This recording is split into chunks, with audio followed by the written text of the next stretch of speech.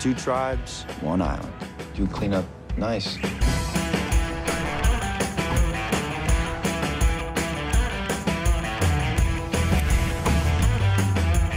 kind of like a three-layer burrito.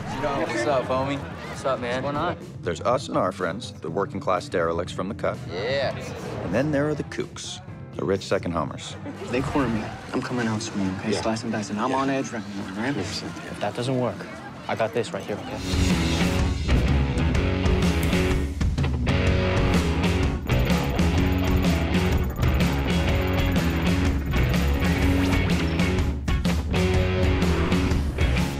Thinking for the mice, Daddy. Yeah, well, I have an actual human Oh, being God. that you might give some help to. I'm Sarah. I'm so sorry. Lana Grubb. She's Scooter's wife. Now, you were storm prepping with him, right? Yeah. It's for the pain. Shit, yes.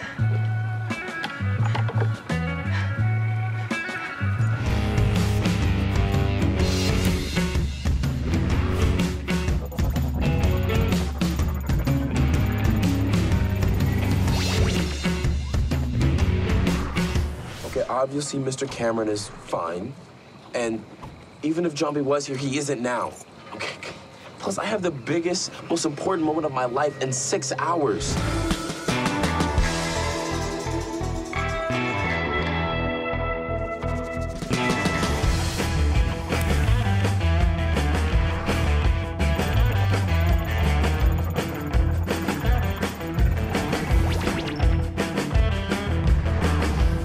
I look like a bourgeoisie pig. Can we please not worry about socioeconomic injustice for one night? Mom, people not three miles from here have no power, no running water, and we're going to Midsummer's. That's so tone deaf. You said you wanted to walk in together.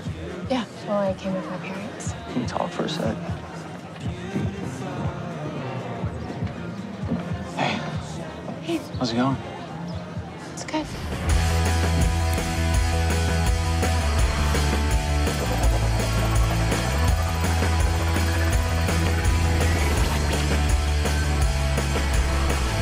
We're gonna take it to the pawn shop, and then after that, we're gonna pay for JJ's restitution. How many parts? I don't, I don't know. It was all muddy. I think it was like 600. And then that's Topper, our not so pleasant boyfriend. Topper actually thinks Pogues were bred to mow lawns.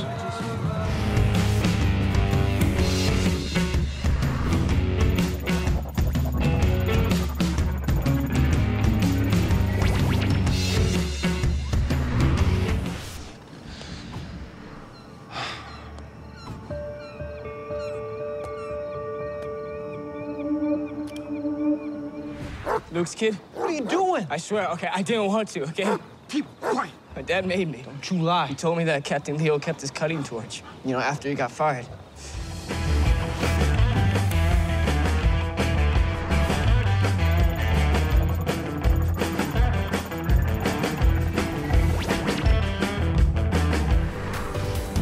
So do we have a winner? I think we have a winner. I, I think so.